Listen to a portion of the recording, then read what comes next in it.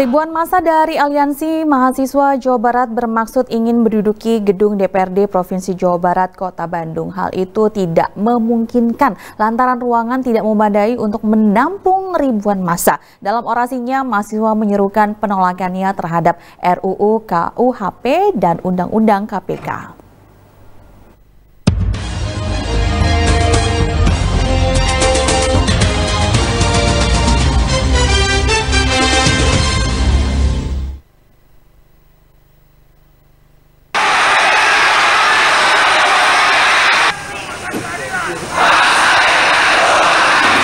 Masa dari Aliansi Masyarakat Jawa Barat bermaksud ingin memasuki gedung DPRD Provinsi Jawa Barat Kota Bandung. Hal itu tidak memungkinkan lantaran ruangan yang tidak memadai untuk menampung ribuan masa. Hal tersebut dikatakan anggota DPRD Provinsi Jawa Barat Hasbullah Rahmat. Bapak setuju Pak, dan Bapak percaya terhadap kita. Bapak percaya kita izinkan kita masuk. Nggak bisa dong, ruangannya ada. Menanggapi aksi ribuan masa dari Aliansi Masyarakat Jawa Barat terkait dengan penolakan RUU KPK dan RUU KUHP. Hasbullah menambahkan bahwa pihaknya sudah menawarkan kepada perwakilan mahasiswa untuk berdialog, namun ditolak oleh mahasiswa.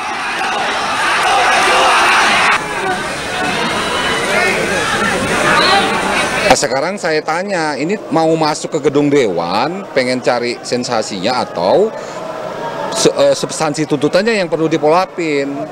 Nah, jadi ini masih rada belum ketemu nih, ya antara dia mau masuk semuanya atau perwakilan. Kalau kita menawarkan perwakilan, karena ruangnya kan nggak ada. DPRD Provinsi Jawa Barat tidak ada ruang yang bisa menampung 2.000 orang, nggak ada.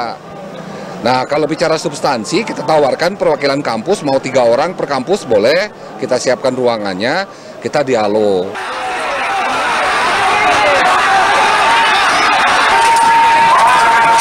Sementara itu hingga pukul 18 waktu Indonesia Barat, demonstran masih bertahan di depan gedung DPRD Jawa Barat. Bahkan sebelumnya sempat diwarnai pelemparan botol air mineral dan batu, saling dorong pun tidak dapat dihindarkan.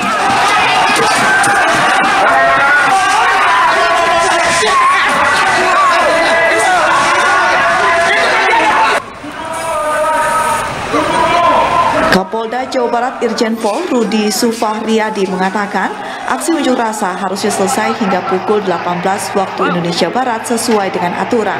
Pihak kepolisian pun berusaha dengan baik membubarkan massa dengan menahan emosi dan tidak melakukan pelanggaran.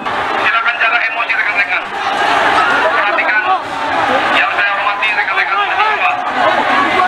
Jaga kondusivitas. Pak Kapolres Tabes Bandung ini berhasil ya menahan emosinya anggota, tidak melakukan pelanggaran dan ternyata anggota juga ada enam orang terluka akibat lemparan daripada mahasiswa.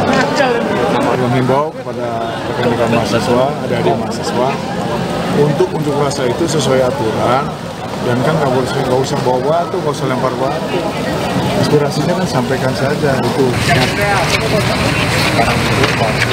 Humas DPRD Provinsi Jawa Barat melaporkan.